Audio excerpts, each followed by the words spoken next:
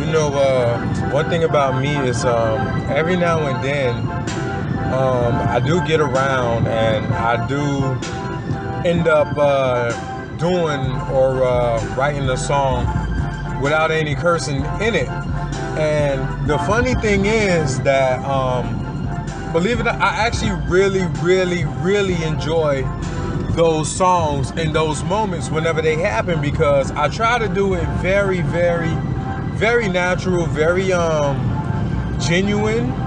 So, you know, when I get in those pockets, man, I really, really like it. I really appreciate it. Like for example, um Pay It Forward, uh that song only has uh one uh one cuss word in it.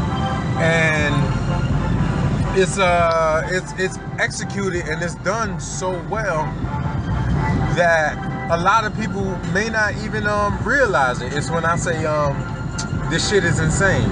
A lot of people may not realize it because it flows so good and it goes so smooth that you know you don't even realize that it's a song without any cursing. So that's the same situation with this one, um, crossing over.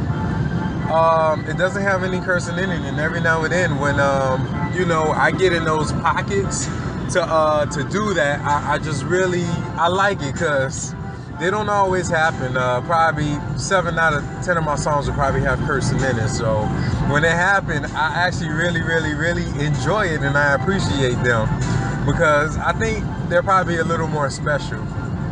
So crossing over, man.